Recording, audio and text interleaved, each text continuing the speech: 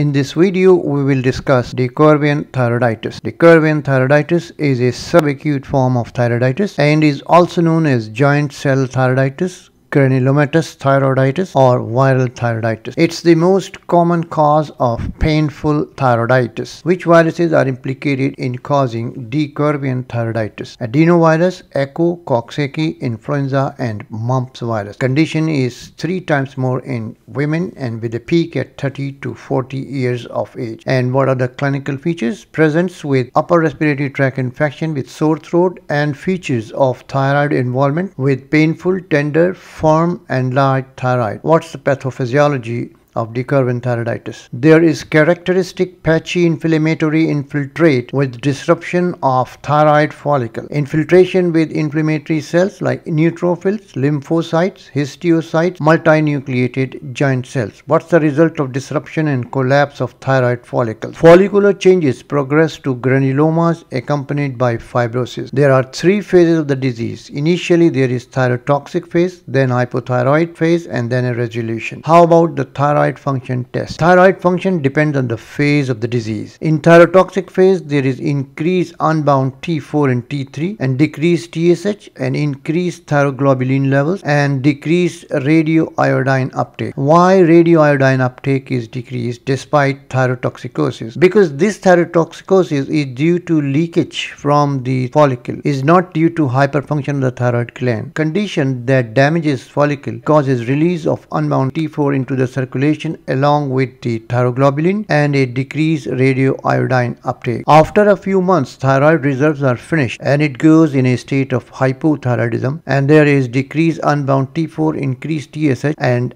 radioiodine uptake is normal to increase. Thyroid becomes normal after few months. Permanent hypothyroidism and or relapse can occur. The laboratory features are increased ESR of more than 100, leukocytosis, lymphocytosis, anemia, normocytic, normochromic and thyroid antibodies are negative. Treatment is aspirin and NSAIDs. Why antithyroid drugs are not used for thyrotoxic phase? The antithyroid drug like propylthiouracil are not indicated for thyrotoxic phase since excess hormone is due to leak instead of hyperfunction. Drug used for thyrotoxic phase is beta blocker and for severe symptoms iopanoic acid.